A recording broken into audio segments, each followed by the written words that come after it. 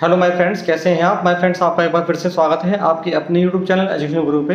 My friends जैसा कि हमने आपको कल मॉक एग्ज़ाम का वीडियो डाल चुके हैं आपके लिए, और आपको पता चल चुका है कि किस तरीके से जो है मॉक एग्ज़ाम होना है।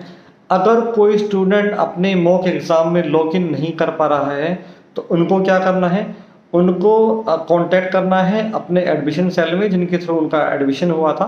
और हो सकता है कि उनके पैनल में उनके लॉगिन आईडी में कुछ प्रॉब्लम हो यूनिवर्सिटी की तरफ़ से वो फिर ठीक हो जाएगी।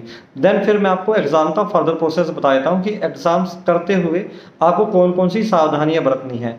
माय फ्रेंड्स जैसा कि आपको पता है, जब आप लॉगिन करते हैं तो आपका फेस लॉगिन होता है, आपके फेस की फ़ोटो खींचती है वीडियो आपका जो है बनता रहता है तो पता चलता रहेगा कि एग्ज़ाम कौन दे रहा है। तो बहुत से स्टूडेंट्स जो है वो ये सोच रहे हैं कि कोई और अगर उसका एग्ज़ाम दे दें तो माय फ्रेंड्स ये सोच अपनी जो है अलग रखें बिकॉज़ जो जिसका एग्ज़ाम है वही एग्ज़ाम दें सो so दैट बच्चे को कोई प्रॉब्लम वाली, परेशानी वाली बात ना आए।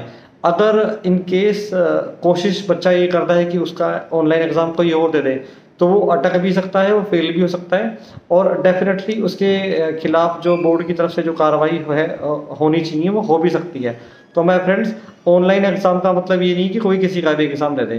तो मैं फ्रेंड्स ये छोटी सी इंस्ट्रक्शन थी आपके लिए। बहुत से स्टूडेंट्स जो है वो हमसे पूछते हैं कि आ, ये बोर्ड कहाँ पर चलेगा कहाँ पर नहीं चलेगा।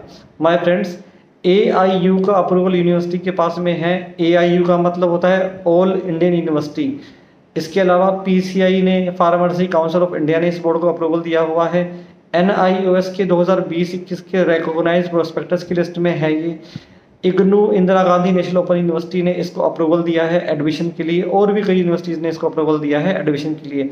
बट ये बोर्ड स्टिल कोबसे की लिस्ट में नहीं है।